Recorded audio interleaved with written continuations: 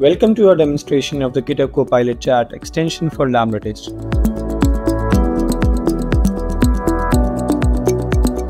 To install it, you can go to integrations.lambdatest.com to search for Copilot Chat, click connect, click on install. Now you need to authorize LambdaTest and the integration seamlessly integrates GitHub Copilot Chat with Lambda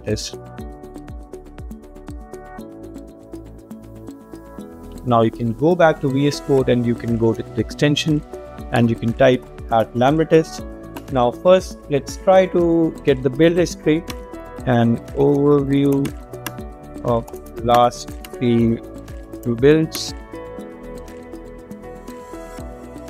So you see it summarizes the last three builds from my LambdaTest account.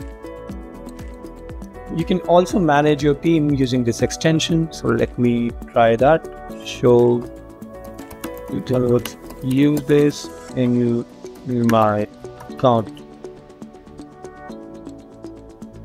so it will show me all the users in my Lambda account. Inviting new users to your account is also a breeze with this extension. So let's try that also. Invite this email to the Zook Gold user.